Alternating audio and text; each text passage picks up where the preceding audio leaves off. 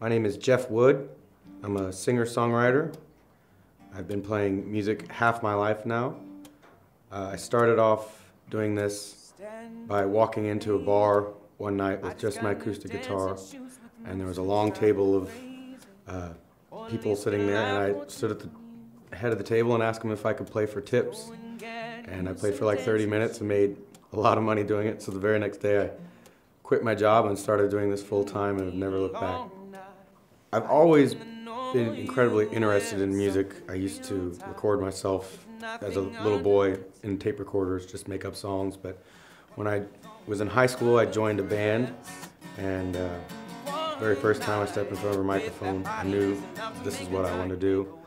The very first show my band did, uh, I figured out this is what I want to do, and then I found a way to do it on my own and, and do it my own way, and create a living doing it, and that's what I've been doing ever since. When I write songs, I typically start with the guitar first, and I map the song out, and then I go back and insert the words, and usually how that works for me is I let the song speak for itself. When you listen to a song, sometimes it doesn't even need words. It makes you think of certain things, see certain things, hear certain things. And so when I write a song, that's what I do. I listen to the song, I try and find what it's saying, where it's taking me, what it's allowing me to see, and then I write my lyrics from there. Playing music in front of an audience is uh, really like a cycle. When you're playing in front of people and you're giving it to them and they give it back to you, it's one of the greatest feelings in the world. I can't do it without them, and they can't do it without me. And uh, it's what I've been chasing for half my life. Every show I play, I look for those moments.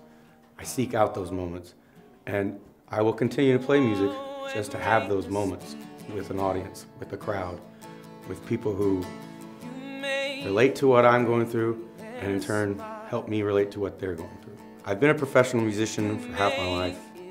I've played in 22 different states.